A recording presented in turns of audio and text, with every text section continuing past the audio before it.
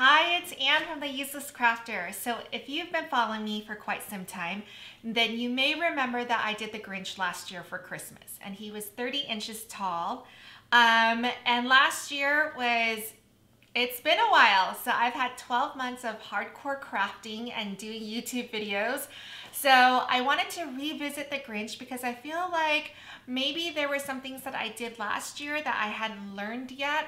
And so I wanted to redo the Grinch I also found Cindy Lou Who, and I love this image. I'm going to talk about that as well. Cindy Lou Who will be um, a second video. I'm going to do two videos back to back because uh, I want to put this. I actually bought a fake Christmas tree. Well, I am a fake Christmas tree person in general, but I bought one for my craft room. They are on sale at Michael's. So today is what, October 29th and Michael's is having this crazy sale. So there's a four foot fake Christmas tree that's pre-lit um, on sale for $24. So I'm like, okay, I'm buying that so that I can take all my pictures with the Grinch and Cindy Lou Who next to the tree and it's gonna look amazing and all my wrapped Christmas presents. Um, so it's, you know, all for the sake of my YouTube channel. all right, but I wanted to talk about off the mat first because when I saw this Cindy Lou Who image, it was perfection for me because um, most of the images that I've seen for Cindy Lou Who is she's wearing this pink nightgown, but it is the nightgown is one piece, um, like from her toes, well, her feet, right? This is um, usually what I see is it's all the way up. The only piece that's not part of her pajamas that's separated is the collar, right? So that means, and of course it's a light pink, um, you know, set of pajamas. So even using glitter cardstock, you would see a seam um, somewhere along here. But this one, what's awesome is there's this um, ornament. So it breaks up the, the pajamas into two, right? So here's the bottom, which means if we really wanted to make this big, the bottom here could be 11 inches. And then, you know, now you have Cindy Lou Who easily hitting about 28 inches without any seams. So I just love this one. Now, I am gonna make her next to the Grinch, so she's not gonna need to be that tall, but she will be seamless then. So she's just gonna look so cute. All right, so I have the two images here because I wanted to make the Grinch really big, and then I wanted to make Cindy Lou Who comparable in size. Uh, normally, if you just do one or the other, then you can make Cindy Lou Who as big as you want, like 30 inches, right? But I'm not gonna make the Grinch 30 inch, inches and then Cindy Lou Who 30 inches is gonna look really weird side by side. All right, so um, let's change the Grinch to 30 inches and I'll talk about where we had the seams last year. Okay, so at 30 inches, where we had the seams was right here. I cut it right where was, the ankles were super skinny. I did green glitter cardstock. You couldn't see it at all. Um, but I was looking at this image earlier and I'm almost wondering if I should just cut a seam right here, like connect these two black pieces and make it so that this leg is its own little piece. And then that way, I'm gonna again do the seams right around here, but it's just gonna be on one foot. And so maybe it won't be so, it wasn't noticeable at all before, but I'm just curious if I should do that because that might give me a little bit more leeway. Okay, so this is 30 inches. I feel like I want to do him a little bit bigger. The Christmas tree that I bought is 48 inches. So if I did 30, I feel like he's going to be so much smaller than the Christmas tree. So let's do him at three feet. So at 36 inches. Um, so let's zoom out. And then Cindy Lou Who, she's 16 inches there. I think I want to make her about, let's make her 22 inches. That looks, that looks good, right? of course, everyone's nodding and saying yes. I'm writing this down so that I can remember Cindy Lou Who. Cindy is going to be at 22 inches in my next video. and then um, we're gonna make the Grinch, what did we end up with the Grinch? At 36 inches, okay. All right, so let's do this. Let's make the Grinch 36 inches. I'm gonna save it, um, save as, oh, you know what? Hold on. I'm gonna save it, cancel. Let me save, save, because they're both at the right size. Then now I'm gonna delete her and save this as Grinch 36 inches. Okay, so let's get started. Um, well, let's just see what his dimensions are for all the pieces and then we can talk about what we should do. So last year, what I did was uh, there was a seam here and again, he was at 30 inches, so it's gonna be a little bit different. There is a seam right across the ankles. I used dark green glitter cardstock. You could not see it at all. I did a comparison, which I will include on my Instagram again. I did him exactly the bottom part here in a green regular cardstock. And even though we did it at the skinniest part of the ankles, all I could see were the seams. so definitely I prefer the, you know, the the glitter cardstock for that reason. Um, the other place that we had um, was the red. I think I did a seam, I cut off the arms. So I did a seam right here and maybe a seam right here. Again, it was with red glitter cardstock. You couldn't see it at all. It looked like one piece for the whole sweater. All right, so let's ungroup this for a second and see what all the dimensions are. Um, so let's look at this red. So his sweater is 16 inches across. So again, I'm almost wondering if I just did a seam right here, like look at how small that would be right here, that this would be fine as one piece and then, um, yeah, so I'm very tempted to do that there. Um, I think our face should be fine. Yeah, everything else should be seamless. Um, so let's look at this bottom and see what we have. So we have 11.7 going across. So that's a little bit too big for 11 and a half, but it's tiny. We can, we can mess around with that piece for sure. Um, and he is 15 inches high. So again, we could, wait, this is at 36 inches and he's, yeah, 36 inches. So let's look at this piece again. So 15 inches.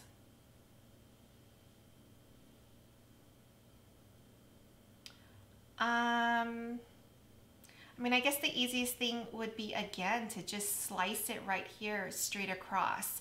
Um, I mean, we could be fancy and do this, but that we still have another seam over here. So I almost feel like we might as well just slice it right here. All right, so let's do that. Let's look at all these individual pieces. Here's the hat. Um, that looks good. Here's our white. Okay, now the face, I did remember last year. I did the nose the same color as the face because I wasn't interested in making two different colors. And then also, I almost want to do, let's see, so the face is one piece for the forehead. All right, let's just go to color sync real quick over here and I'm gonna change this little nose up here to be the same color. I'm not interested in making it complicated. Um, okay, the other thing that you may notice is look, at, look at this black outline. It's not, um, it's not a full image, it's just an outline. So let's click on that well, let's go to layers. Um, go ahead and scroll down to the black and let's just click on it. And what you want to do is I want to fill it in because I want all my colored pieces to sit on top of it. So I'm going to go to contour and just click on hide all and it's going to give us one black solid background, which is what I want. Um, wait a minute. Do we want that? Hold on. Let's go back to contour real quick. Um, I don't want, I think I like it clear like that. So now we have a solid black background, which I will move over over here. We will slice this up in a second. let's look at everything else. Now everything else should be fine. So we need to slice up the legs, right? So we're gonna slice it right around here. Um, let's look at this red. I'm gonna scroll, I'm gonna zoom in for a second to look at this red sweater. The red sweater, yeah, it is all in one piece, but like I said, I think I'm gonna slice it like right here where no one's gonna notice. So let's zoom out. The only other thing that I would wanna fix is, oops, I'm gonna zoom back in, is his fingers. So this is all one piece, right? This piece is okay. I think for this though, I, I don't, do I wanna make this? I mean, I guess it's a big enough piece. All right. I think last year, because it was a little bit smaller, what I did was I added a little green piece here. So the hands, instead of it being in three pieces, I welded it so that it was one piece. So it looks something like this. I mean, his hands are already funky. So it's not like someone's gonna say, oh my God, why, why is the hand one piece? Because the hand over here is, this is one piece and it doesn't look like a hand to me. so um, you can do that in I'm gonna let it go. I'm gonna let it be three pieces, this hand be three pieces and this hand be two pieces. So I'm not gonna worry about that. Everything else looks good. So let's bring in um, a square to slice up this arm, okay? So when you're slicing, um, you can only slice two items at one time. So it's gonna be my square and the red, right? And I'm leaving this big right now just so that we can see it. Um, you want to make sure that we're breaking this into two pieces, right? The sweater into two pieces. So one piece needs to be completely in the square. So I'm going to make this square, I'm going to unlock it and make it really big because I want to make sure that this whole arm is covered in my square. And I'm going to slice it right here. Look how tiny that is. No one's going to notice that this sweater is in two pieces. So I love this. Um, all right, so let's grab that. It's already um, selected. So hit the shift key and then click on the red sweater and that should highlight both items. And you know that we did it properly because we only picked up two pieces and slicing is available. If we picked up more than two pieces or we picked up one piece, then it will be grayed out. You will not be able to slice. So go ahead and click slice and then go and you can get rid of the slice results. So we don't need that square anymore. We don't need this grayed out piece. I mean, look how tiny that, that little split, that little seam is. So now we have this is 5.3 by 4.1, so it's good. This is 12.3 by 9.2, so it's a, still a little bit too long, but I'm gonna try to shift this. So I'm gonna just rotate a little bit. Okay, and you see how it's the same piece. We haven't done anything, but Design Space measures um, width, the most left to the most right, and the difference. So if I rotate this a little bit more, do you see now it's 11.8? So I'm gonna rotate it a little bit more. It's now 11.2 by 10.2. So I, it's fine. So I'm gonna move this aside. Um, let's zoom out. And now all we have left is his legs. So again, I'm going to, um, grab a square. So let's get that. And let's unlock it and make sure that the square covers the whole bottom, right? And let's slice it like right around here. Okay, so grab the two items and slice. And then let's make sure that our measurements are, are good now. So this is now 9.6 by 12.1. So it's a little high, but remember we have the option of rotating it a little bit. And let's see, and now it's fine, 9.6 by 11.3. So this is good. And look at the seams, it's gonna be minimal. And again, we're gonna be using green glitter cardstock, so we shouldn't have a problem. So let's get rid of this. Now these two things though, they're together and so it's 11.7. I'm gonna want to just separate the feet out. So I'm going to use contour to do this. When you use contour to break up pieces, then you need, if you wanna break it into two pieces, then you need two copies of this. If you want to break it up into three pieces, you need three copies. So um, I'm do left and right. So I'm going to make a duplicate copy. And then I'm just going to go to contour and I'm going to click on one. So remove that. So here's my left foot all by itself, right? And then let's get the right foot, contour. and I'm selecting, I don't want the left foot. And there you go. So now you have two. And then this way you can maybe um, minimize and be more efficient with your cutting. All right, so the Grinch is super easy, right? I think that's it. All we have left is the black piece. So let's zoom out. Now our black piece. He is 16 inches across, so we're gonna need two columns, right? Because we're using 11, or we're using 12 by 12 cardstock. And so in this case, I'm gonna do 11 by 11 squares. So I need 11 plus 11 is 22. And then we need, um, so we need four rows, right? Because 11 times 4 is 44. 11 times 3 is only 33 inches, which would not be enough to cover this. So let's build our eight squares, okay? So let's bring in our square. And I like to make them flushed because it's easiest to piece it together later when you push up straight against each other. The seams are gonna be more minimal than, and I wanna just make sure that there's no over uh, overlays and not any gaps in this. So I want eight puzzle pieces that are gonna be big and they all butt up against each other. Okay, so that's what we're doing. So this square, we're gonna make it 11 by 11 because we could technically cut 11 and a half by 11 and a half, but I don't like dealing with half inches. And very rarely does it make a difference. So in this case, it does not because just think about his width is 16.6, right? So even if I did 11 and a half, 11 and a half and 11 and a half is 23 inches, or 11 plus 11 is 22 inches. I need two columns no matter what. Okay, all right, trying to convince you. okay, so here's our first square. Let's put it, let's go to our position feature and round up because we wanna make sure that we're building our flush squares. It's easier to do it this way. So 51.7 becomes 52. 22.3 becomes 22.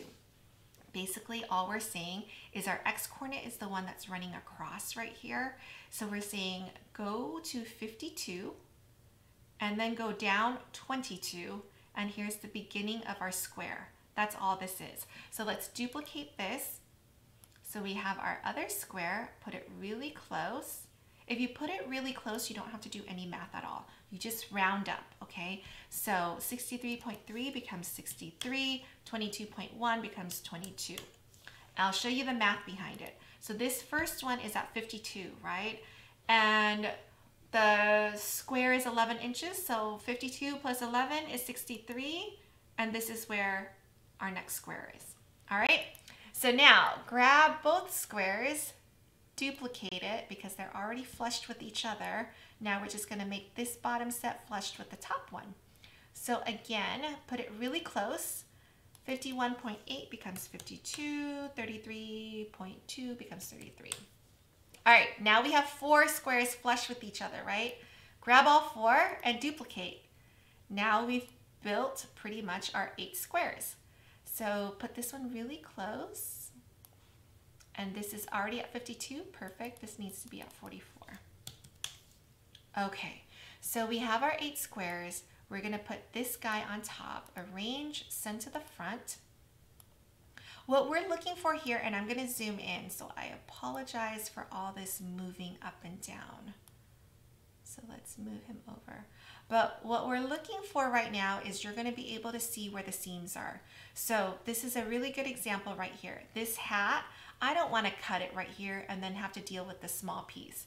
My whole goal of cutting him up into eight pieces is cutting him up into eight big pieces. I don't want to deal with any like fingernails or like, you know, little pieces to keep track of. So right now this looks good. Um, let's move him over or yeah. So this line is going to go up the middle, right? Um, and hold on for just one second. Uh, hold on. Let me bring him in. I just want to see what he looks like again. So Grinch. And there he is. This is an uploaded image. This is not a Design Space image. So I bought it on Etsy. There are many designers out there doing the same image, okay? So you can find it. The one the designer that I bought it from is no longer selling it. So that's why I'm not people ask all the time.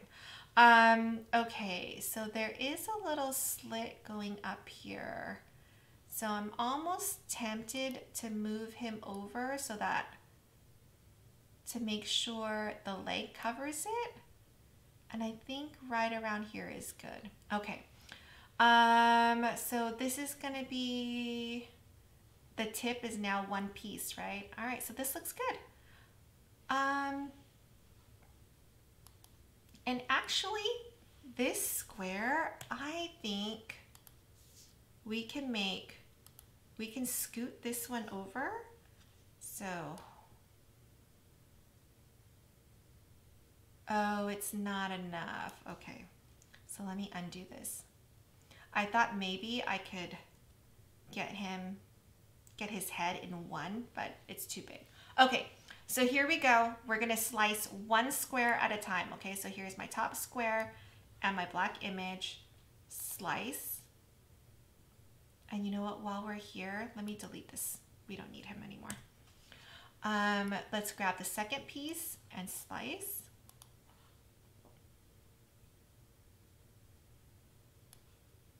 And you see how like as soon as my um, cursor touches the black, I just let go. I just need to touch it a little bit to grab my two items. Let's slice that. And the reason why is I'm going to show you here. If I went a little bit too far and I grabbed this third item, you see how slicing is not available. So I just make it a habit. Like as soon as I grab my two pieces, I let go.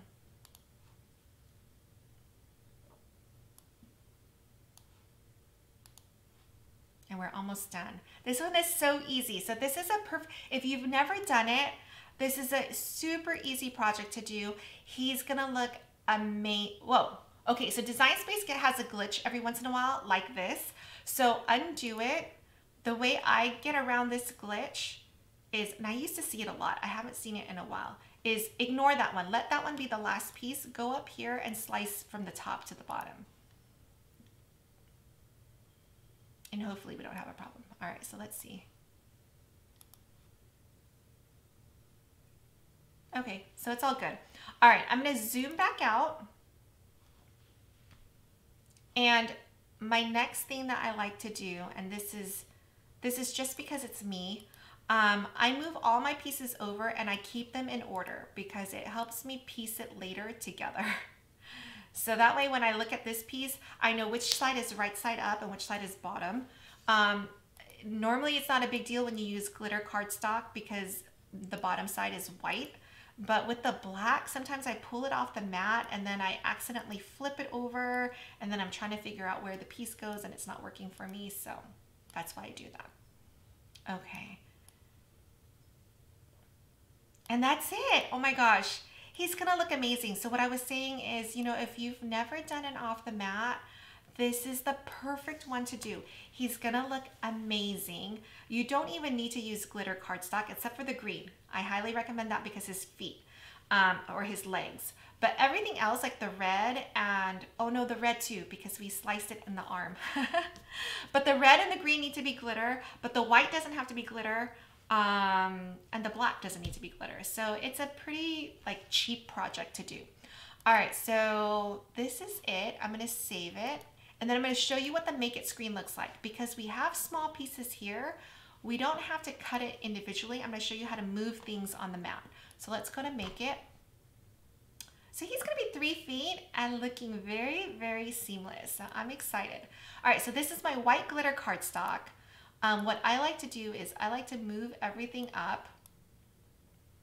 And I do this because I do so many of these projects that I end up saving my glitter cardstock. So, and I'm gonna move this one over here.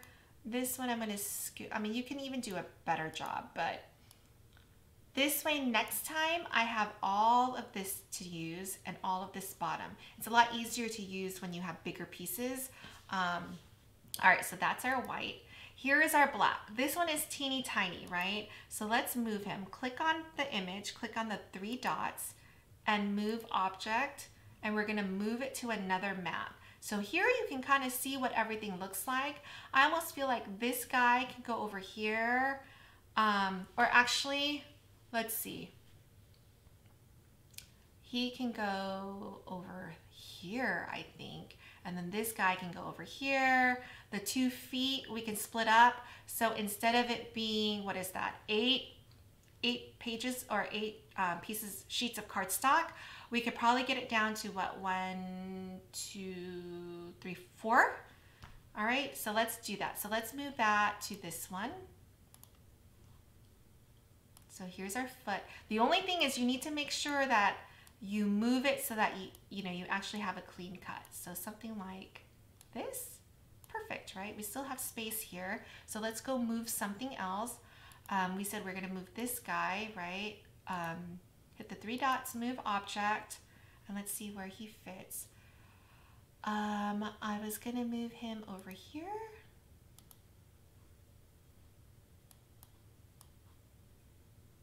Oh, so that works.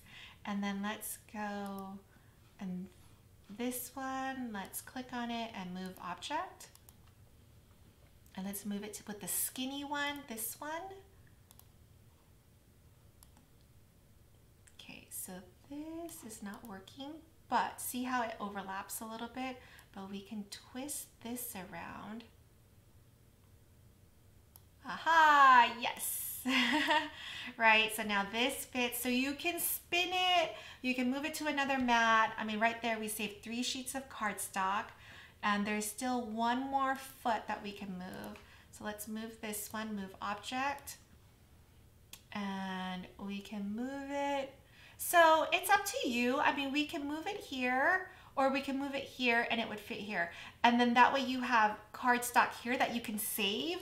Um, or I always end up using my black cardstock, um, the leftovers, so that I can tape things, use my tape runner, and then that's like, so it doesn't get on my mat. So, all right, so awesome, right? Okay, here's our red. It, the red, it's saying this piece is too long, but that's because we can shift it and it would fit, oh, hold on. I'm gonna shift it a little bit at a time. So I do use a 12 by 24 mat. If you don't have one, it's okay. You can just make sure that this fits. See, this fits now, right? 11 by 11. You can change the mat size and say it's um, 11 by 11, or I'm sorry, 12 by 12. Oh, it won't let you. Okay, so if you didn't have a 12 by 12 piece of card um, mat, then you can move these to a new mat. So I will show you so move object and you can create a new mat. So create the red and so see it moves it onto here. And then this one, so we need to move this guy, but I think this can fit up here.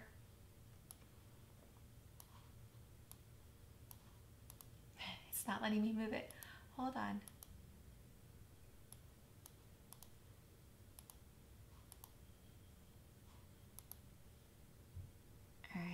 Don't know why it's not letting me move this. Let me move this and see if it lets me move this now. All right, we'll get back to that one. That one I think can fit up here, but if it didn't, and I don't know why it's glitching on me right now, we should move it to the other mat. So when you have just, even though it says a 12 by 24 mat, if you just put the 12 by 12 piece of cardstock on here, which will be fine because this piece right here is only 11 inches, um, it will just cut. It doesn't need to know that it's a 12 by 12 mat. So this one we need to work on, but it's just a glitch. Um, here are the yellow eyes, so that looks good. Here's the green. The green right now is showing a little long, right? But we just need to move it. And so now it fits, you know, it's 11, less than 11 and a half by 11 and a half. Now all these little pieces, I would move to the side so I can see if I can move anything further up here and really, you know, minimize. Um, so this can go up here. And you can, you know, really shift things around. Um,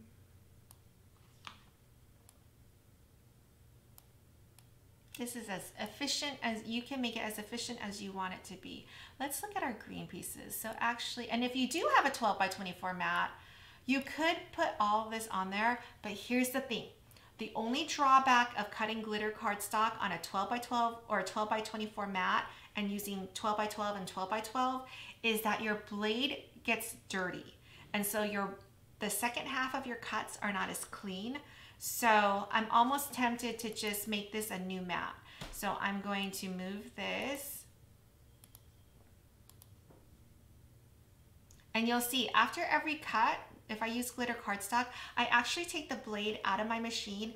I push it up so that the blade pops up and then I just blow on it. There's so much glitter that gets stuck on there so your cuts aren't as clean. So you just wanna make sure. So I'm moving that face onto this green mat.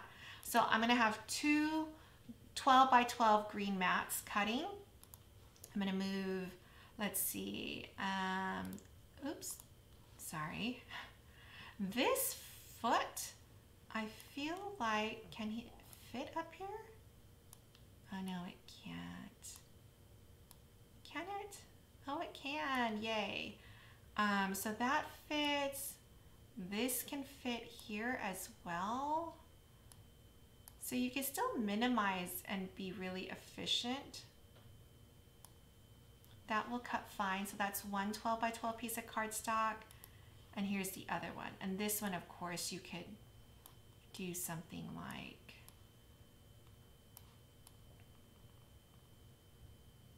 like this. So next time you have a big chunk of green glitter cardstock that you could use for another project. All right, so here's the red. Let's go back up to this red one and see if, if it's still gonna not let me move this piece. All right, now it let me move. Okay, so I wanna flip this a little bit. Maybe I can't get it to work. So let's move this one, move object, and move it with the other red piece, this one.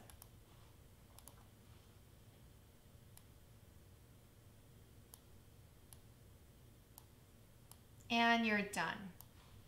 That's it. Oh my gosh. All right, so I'm gonna cut this and then I will have an assembly video and it's gonna look amazing. All right, um, let me know if you have any comments or questions or special requests, especially Christmas ones. I'm super excited to get a head start on Christmas this year. And I know with the whole pandemic that I feel like we're gonna go crazy for Christmas because we're at home all the time. So let's start decorating. Um, all right, and you can send me an email after if you post your special request and you have a lot of details or files to send me. It's Ann, A-N, at theuselesscrafter.com. All right, thanks guys. Bye.